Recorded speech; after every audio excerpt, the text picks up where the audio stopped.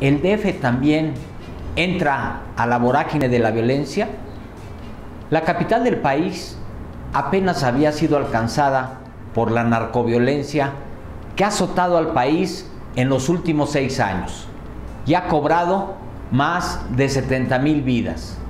No es que en el Distrito Federal no hubiera levantones y asesinatos, sino que su magnitud comparativamente dista de los niveles alcanzados en Juárez, Tijuana, Torreón, Culiacán, Acapulco, Monterrey o Nuevo Laredo.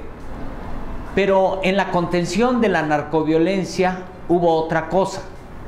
Cuando Cuauhtémoc Cárdenas tomó el poder en diciembre de 1997, parecía que la plaza quedaría en manos del cartel de Tijuana.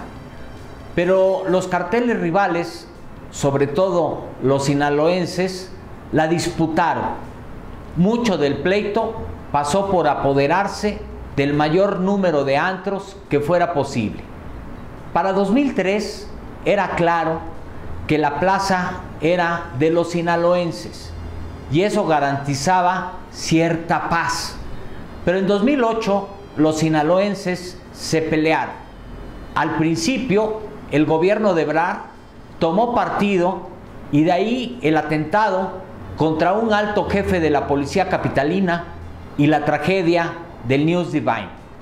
Entrarle al pleito no parecía conveniente, entonces se logró un insólito pacto.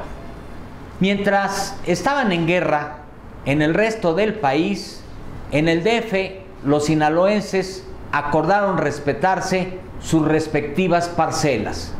La Hermandad y Genaro García fueron los garantes del pacto. Con la desaparición de 12 o 13 personas de Tepito en el antro Heaven o donde haya ocurrido, el pacto que garantizó la paz podría estar por romperse, con el agravante de que hay nuevos competidores. Y estos no son los grupos locales, pues ellos siempre responden a los grandes carteles. Si la capital se convierte en una Juárez, ¿qué será del país?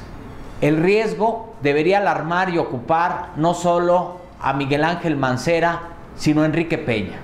La seguridad debe de ser la principal prioridad del presidente porque así lo impone la realidad y debe revisar sus erróneas políticas al respecto.